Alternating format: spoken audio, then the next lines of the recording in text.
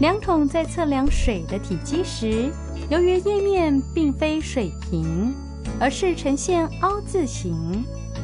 读取刻度时，需对准页面中央处，并且估计到最小刻度下一位，五十二毫升为准确值，零点六毫升为估计值，故测量结果为五十二点六毫升。量筒在测量水银的体积时，由于页面并非水平，而是呈现凸字形。读取刻度时，需对准页面中央处，并且估计到最小刻度下一位，五十六毫升为准确值。由于恰好位于刻度上，估计值为零，故测量结果为五十六点零毫升。